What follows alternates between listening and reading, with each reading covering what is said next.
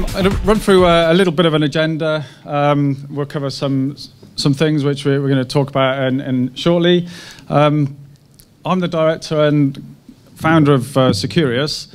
Um, we've been going operation about 11 years now. We've employed about five or so um, graduates and um, people from Plymouth University. So um, if you'd like to come and see us in the break and that, we're, we're more than happy to, uh, to have some conversations around uh, developing some of you guys as well. So um, that's my pitch over with. Um, amongst other things, in my, in my day job, I'm a, a PCI QSA, which is a, a, payment card industry qualified security assessor. Bit of a mouthful. Um, so I'm qualified to, to assess companies uh, around PCI compliance and how they take card data and protect that card data and become compliant with the industry standards. So it's been quite a, an interesting role over the last 12 months or so we've been um, operating. Um, and we're going to share, I'm going to share some experiences, uh, some of the things I found uh, working with clients this year. We, we, actually work with quite a few clients in um, making them compliant and, and developing their, their PCI um, environments.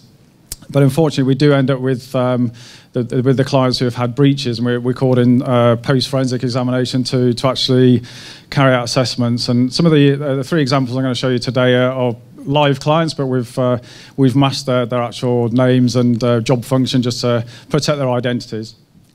So, I'm going to cover a couple of things in the news. Uh, I'm sure you would uh, be aware of some of the, the bigger items in the news.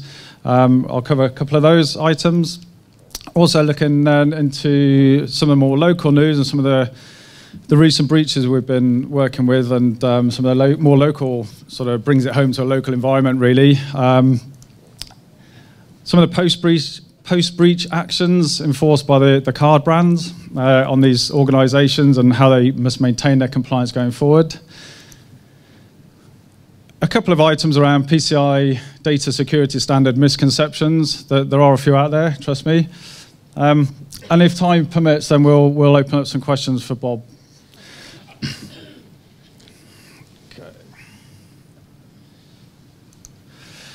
So, there's quite a few credit cards in circulation. This is, these are UK stats only, so you can imagine the, the global population of uh, credit cards. So if I have a quick show of hands in the room, how many people have a credit card right now?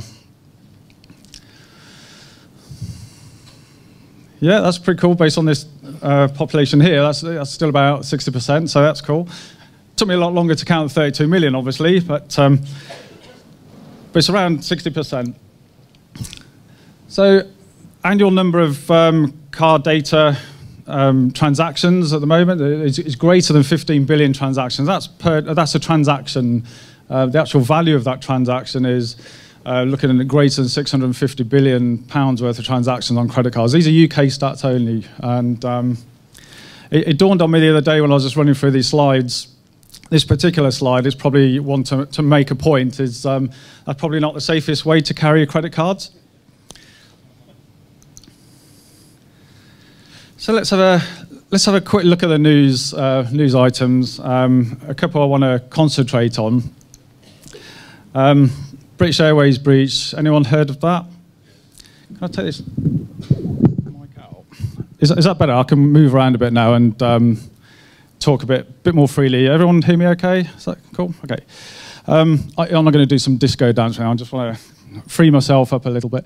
Um, so British Airways, they had a, a breach earlier on um, this year. At the moment, the, we're still waiting on the fallout from the final details of, of how it happened and, and some of the the procedures that, that, were in place or not in place, and, and we'll, we'll, get full reports on that as, as time goes on. But today we know that 380,000 um, details were exposed. Um, we know that credit card data was involved in those exposures, potentially people booking holidays, paying for their, their holidays online with their credit cards. And also what was really interesting about the report was the, um, the fact that the, the whole PAN data, the, the full 16-digit credit card details, and the CVV code, which is your three-pin digit, uh, three-digit security number on the back of the card, was captured. Now, it's absolutely there's no way you're allowed to store CVV codes after transactions. So it's all, it all looks likely that this was a, a um, an in-flight transaction breach, and excuse the pun there, it wasn't intended. So the data, the, as the transactions process, a live process there, it, it, looks like the data was uh, stolen at that point. So it'd be quite interesting to see what, what comes out of this, this report and an analysis on it. Ticketmaster, again, uh, another major breach. Um, now, Ticketmaster, as along with quite a few larger websites, and certainly websites that are uh, geared towards public sales, etc., they use a lot of um, JavaScript libraries. And JavaScript libraries are compilations of um, JavaScript code that are embedded into websites, and they can pull out things like um, user interactions, demographics of users that are using the website, and it's all geared around delivering a better product and a more targeted product for, for end customers. Um, Ticketmaster used um, Inbenta, which is a, a chatbot uh, customer, so customer support service um, module that they embedded into all of their web pages, and those web pages obviously included the, the payment page. It's likely that the, um, one of the JavaScript libraries was compromised, including a, um, a keylogger, and the, and the bad guys uh, left with a whole heap of um, credit card data from, from that breach. Tesco's breach. So this was quite an interesting one, um, and it sort of highlights um, so some of the issues around regulatory compliance. So Tesco's breach, they've had a breach. There's some card data involved with that. They've already paid two and a half million pounds in compensation to some of their customers around um, claims that have already been put forward to Tesco's. The Financial Conduct Authority, the FCA, has already fined them as well, 16.4 million pounds uh, for bringing a, a fraud case to them in terms of uh, exposing their customers to, or potentially uh, exposing their customers to, to fraud issues and um, compromise uh, elsewhere. So th there's, there's obviously the, the, second sort of fine there. Uh, the PCI Council or the, the, card brands haven't actually got around to um, coming up with a fine for them at the moment. The Information Commission Office, uh, the ICO, could fine them up to half a million pounds because it's pre, um, what's that, GD, GD, GDPR, is it? Something like that. Pre-GDPR. Um, and potentially, if it was post GDPR, obviously you're looking at the greater of 20 million euros or 4% of annual global turnover. Um, potential fine there could be 1.9 um, billion pounds. So there's some really big um, issues going on here. But the highlight here, really, the takeaway is that um, you know multiple industry bodies can fine you. Um, you're not just going to get hit with one fine for a breach potentially. What was another interesting note about um, Tesco's Bank? They issued um, debit cards with sequential numbers, which is really bad practice in the in the financial world. You never you never send out cards with the very next digit or sequential number, and it's it's quite bad practice. So, not many lenders do that. So, uh, quite a large amount of credit card fraud is um, is is carried out via um, uh, card, not present um, transactions. And what I mean by that it's all the, um, the payments you make online through websites, purchasing, telephone payments, um, if you're phoning it to pay for an event or something like that. And obviously the, the old post uh, and the mail uh, forms where you, you, you get a, an order form, a paper order form, and you put your credit card details on, post it off, and away you go. I, don't think anybody does that anymore, but I might be wrong. Um, and credit card fraud is, you know, there's a good, is way over 70% now, um, which is re remote purchase fraud, and it's exactly what the, um, the threat actors are stealing credit card data for now. They'll, they'll pull it all together, ship it out, and you, you'll buy a batch of credit, stolen credit card details and just start buying stuff um, and using it in this way. So it can be quite a big, uh, well, for large organizations, this sort of issue is quite, quite a, a big problem. Um, if you imagine uh, a multinational chain, for example, trying to implement the smallest of chains throughout their organization, uh, it, it, can be quite, prove to be quite a, a headache. I remember working with a, a, large organization a few years ago, and we had a, a regular weekly change management meeting and there was 54 people in that group, and we could never make any decision. It was, it was absolutely bizarre. Um, so, you know, a large organisation is going to find a, a, real struggle sometimes to, to implement some of these um, changes and processes, really. For a smaller company, it just becomes a bigger problem. Um, smaller organisations generally don't necessarily have that, that skill set in house to, to implement um, credit card security if they're a merchant taking payments, etc. Um, and also, they don't necessarily understand the implications of, uh, of a card breach.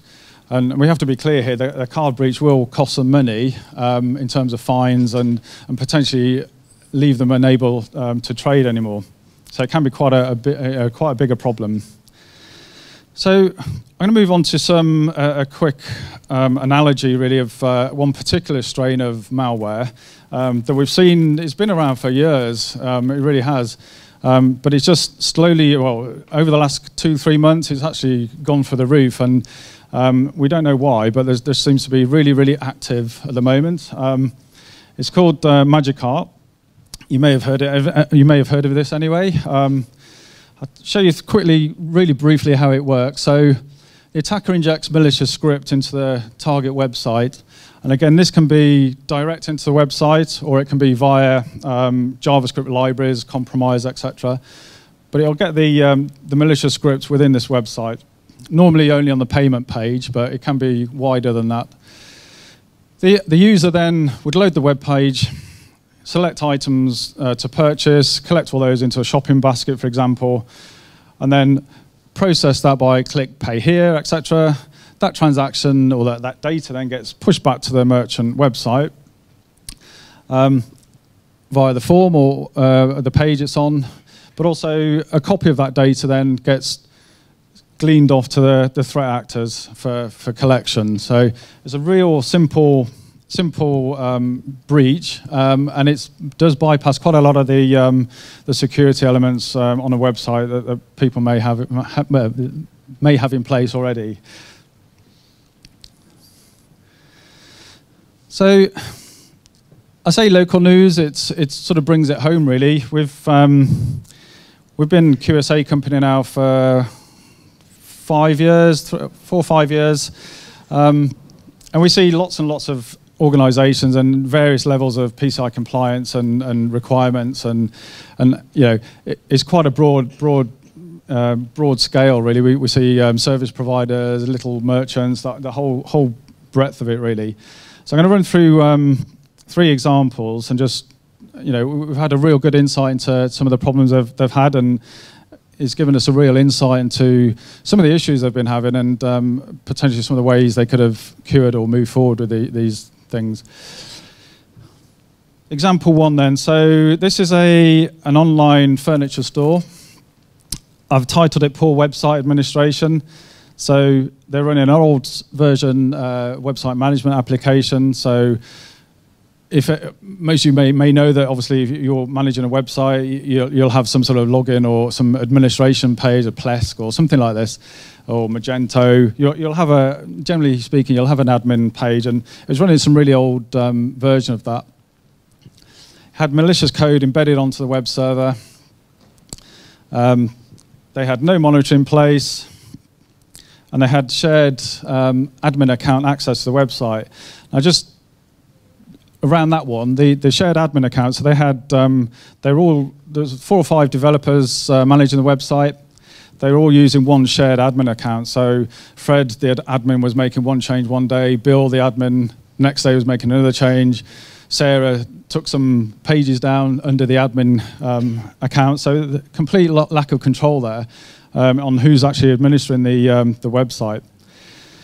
The acquiring bank um, informed the, the, the company that they'd had a breach and the way they do that, they, they go off and do um, card transaction analysis. So they, they, may investigate customers complaining that um, transactions aren't legitimate. So they'll investigate that. They'll look at the card number that was the transaction. They'll look at the transaction um, payment reference number, and they can trace that payment history back down to the merchant ID. So the merchant ID will be the company's um, merchant account ID basically to, to trade. So if you want money from credit card purchases into your bank account, you'll have to set up a, a merchant ID, uh, a merchant account. And that's, that's how basically it's traced back to the, the website in question.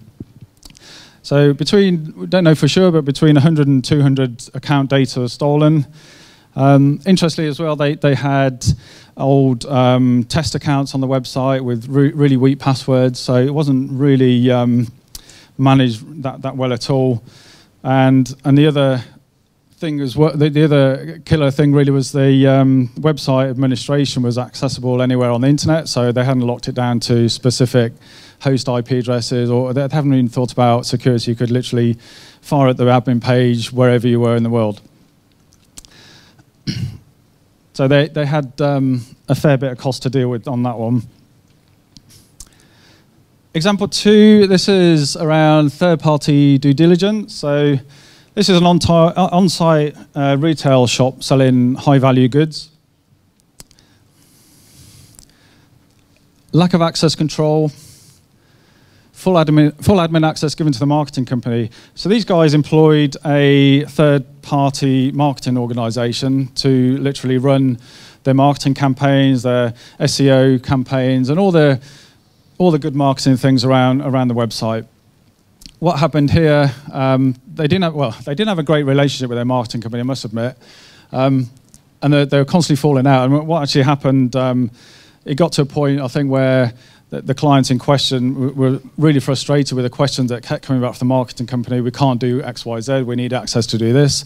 I think they, it came to break point where they just said, well, there you go. There's full admin access to the website. Do what you like. You're the marketeers. You, you, you crack on and get on with your marketing and, and get our business promoted. And they did.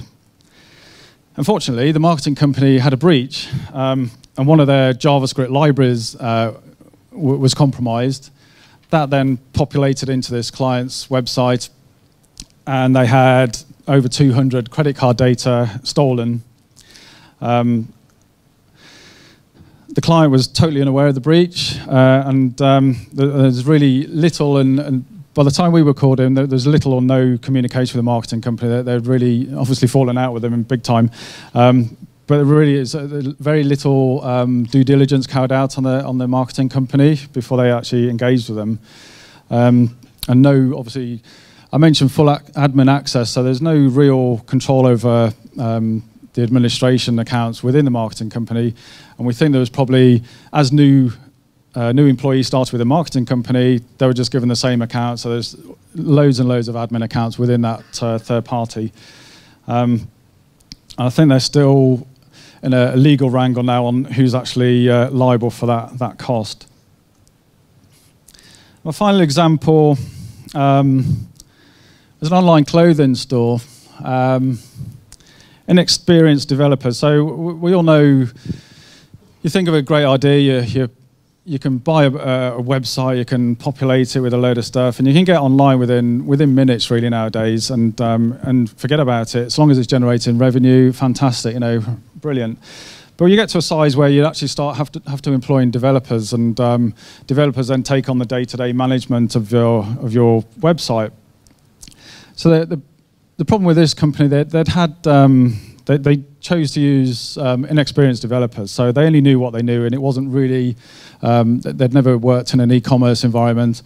So the real basic thing, unpatched server was in place. Um, there's a really clever tool that the uh, threat actors had actually embedded onto this website. So slightly different to uh, but it was a, a screenshot grabbing um, piece of software. So when people entered their card data, it would take a screenshot and save as a JPEG image on the website. So the bad guys are coming back every two or three days and just downloading the JPEG files, and hey presto, there's all your credit card going. Uh, it's quite quite interesting. Um, there's no website code change man, uh, control in place, so there, there, are random code changes and, and updates and um, interesting things going on without any any sort of knowledge within the team of developers as to what, what's actually happening with the website.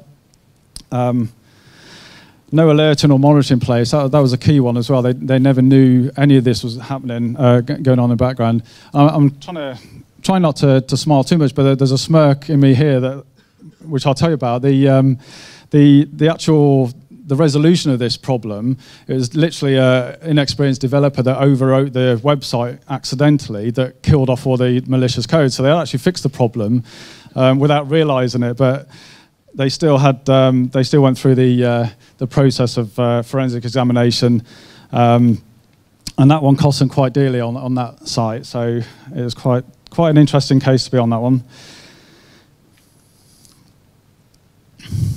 So moving on to the post-breach action. So by signing up for a merchant account and a, as a, a, trader, an online trader, um, specifically on specifically online trading, because that's what we're talking about today. But it's any any sort of merchant um, account. You'll be issued with a, a, merchant account details. You'll have to submit compliance every year to PCI Council uh, to, to, to, the sorry the um, acquiring bank, to show you're compliant. and part of the, the small print um, are some mandatory um, items that you sign up for. And um, quite a few companies that get hit with fines and uh, mandatory forensic examinations don't actually realize until the point of breach that they actually have signed up for this. So the first action, once you've been notified of uh, a card breach, is you'll, you'll have to um, have a PCI forensic examination. There's um, a qualified bunch of people that come in and basically do um, a forensic examination on behalf of the PCI Council. They'll check, uh, obviously, all, all items around how card transactions worked, etc. People like Barclaycard, um, WorldPay, some of the bigger players, they, they have a sliding scale with this as well. So um, because it can cost 25 to 100 grand for a forensic examination, depending on the environment. And I say depending on the envir environment, if you're taking up to 20,000 card transactions per annum, you're a very low risk to the bank. And you'll get a sliding scale, maybe you'll know that it'll only cost you £5,000, for example, for a forensic examination. Still a lot of money to, to take a hit on if you're a small organisation. Um, but obviously, that, that if you're a supermarket taking 25, 30 million transactions a week, then the whole it's a whole different ball game.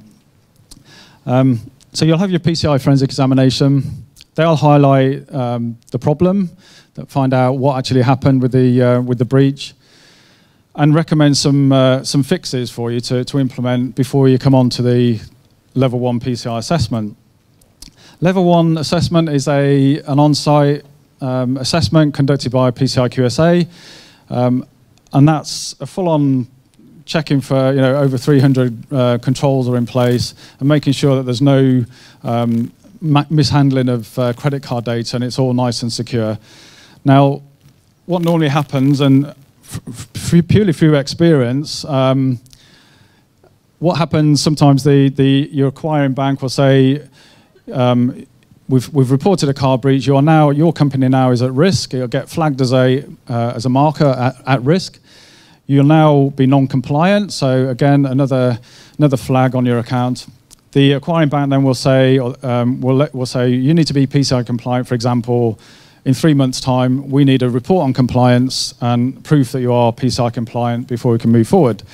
Sometimes they say, and if you're not, we'll find you another $50,000 or whatever, depending on the merchant, etc., uh, and the, um, the car brand requirements.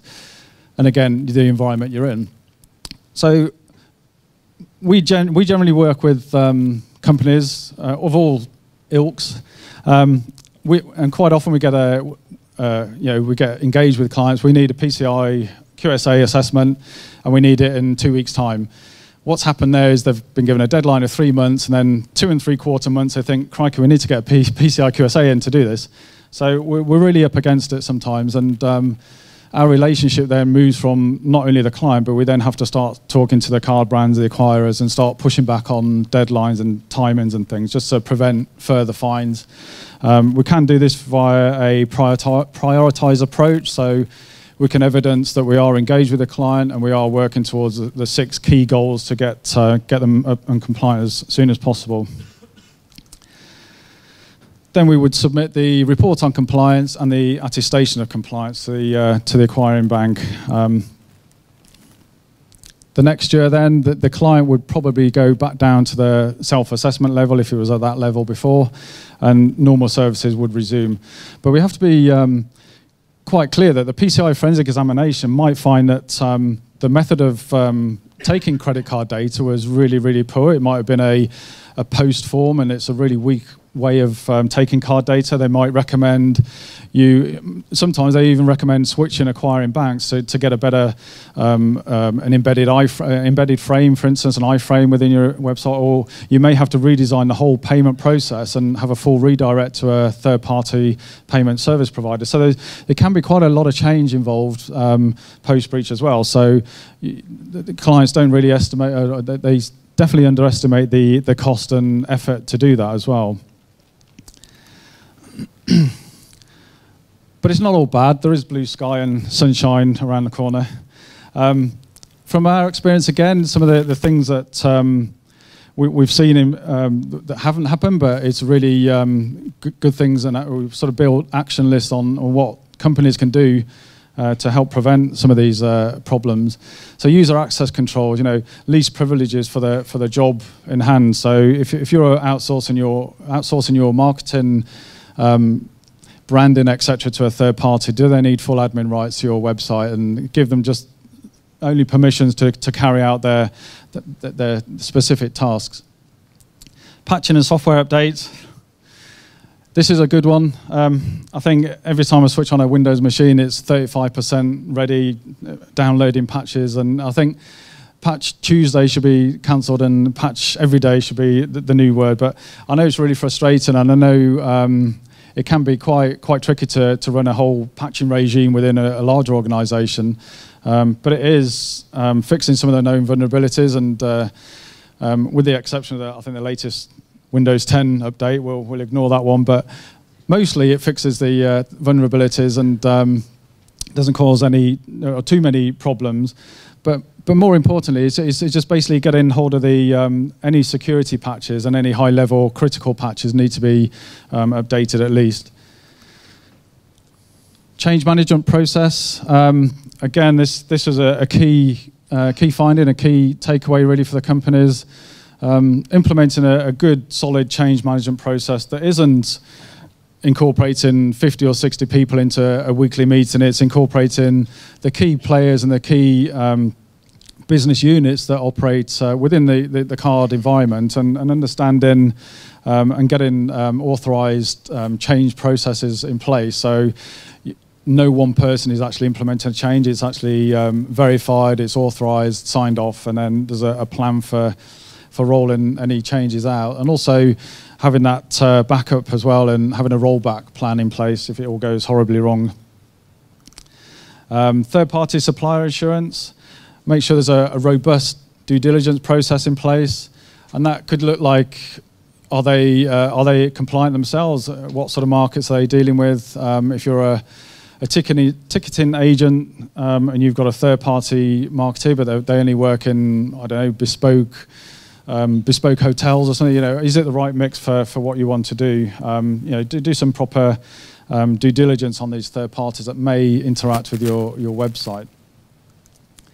Um, critical system monitoring now, I think it's probably fair to say that most hosting providers now offer some level of monitoring and alerting.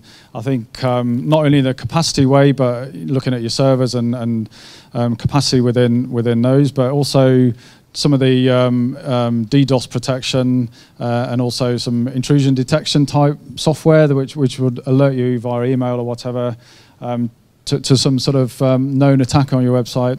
But even the most simplest form of um, website monitoring, if you if you baseline it, um, and you, you've got, say, for example, two meg of traffic going onto your website per day, and then it all of a sudden goes up to 100 meg, and you've got masses of data outbound from your website. You know, what's actually going on with your website? You know, we need to at least do the base baseline monitoring.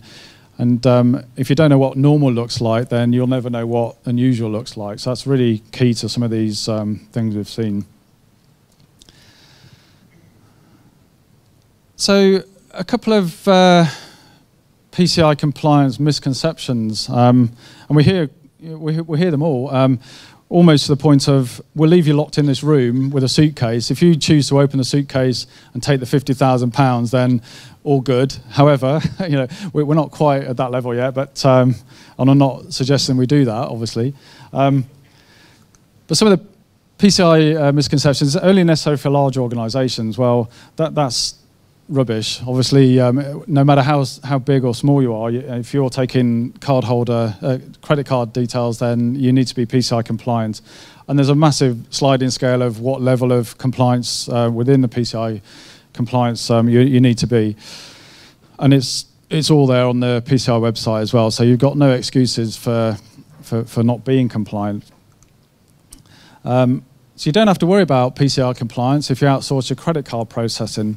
So a lot of companies now um, are reliant on, and, and, and, I must say that the best way to be PCI compliant is don't handle card data at all. That's the easiest way to do it.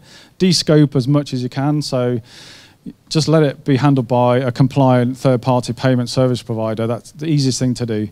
Um, however, two of those examples earlier used third-party payment services provider based on the fact that they were selling the silver bullet. Use our service. We'll, we'll even uh, pre-populate your self-assessment questionnaire and submit it to your acquiring bank, say you're compliant. Fantastic, we'll go for that. However, if you've still got a poorly managed website, it doesn't matter who you're using, you've still got that that breach uh, vulnerability. And like I say, two of those examples, one was using Magento, one was using Stripe. So it's, it's quite important to not only have that rounded sort of um, environment there. So even if you do outsource your credit card processing, you as a company and organization, you still have to be PCI compliant. So whether that's um, the lowest level, a SAQ A, for example, a self-assessment questionnaire, where you do, you just have to fill out, I think there's 12 requirements. So it's quite easy to do, um, but you still have to maintain your own compliance. And even part of your own compliance is making sure that the, per, the payment service provider is compliant. That, that's the very, very minimum. Um, it's only for business to store credit card information. So credit card information can be stored so long as it's masked or tokenized or encrypted. Um, most, um, you know, most banks obviously need to see the full PAN. They need to see the, the, the CVV number. They need to they need full access to that, that, card, obviously. But they would go through some really strict and stringent um, security um, processes there if you're a if you're an online retailer, you don't need to see the card data. You don't need to store it. You can just literally have a payment transaction reference number. You, there's many companies now are using tokenization where they just get a token back from that payment. It's a unique token based around that that transaction, um, the the value, etc. So you're just really keeping ledgers of what's being transaction for your your website. Um, and but again, it's not. Um, it's, it's all about storing, processing, or transmitting card data. So if you're only one part of that ecosystem from point A to point B, um, you might only be hosting an environment, but you still have to be PCI compliant because the, the security of that credit card data while it's in your hands could be put at risk potentially. So it's a, it's a whole um, ecosystem there. PCI data security standard is open to interpretation, apparently.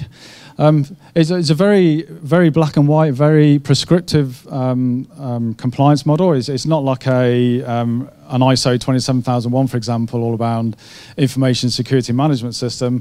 It's the, the, first question normally on those engagements is, what's my scope? Followed by, what do you want it to be? it can be this office, it can be the whole business, it can be multiple sites. PCI compliance is all around protecting card data, and there's some very clear guidelines and steps and, and processes in place that, that need to be there really to protect that, um, to protect your, your PCI card data environment. Um, there's no sort of halfway house with this. It's you've either got it in place or you haven't, or you've mitigated the risk by outsourcing it to a compliant third party. It's as simple as that. If only it was that simple.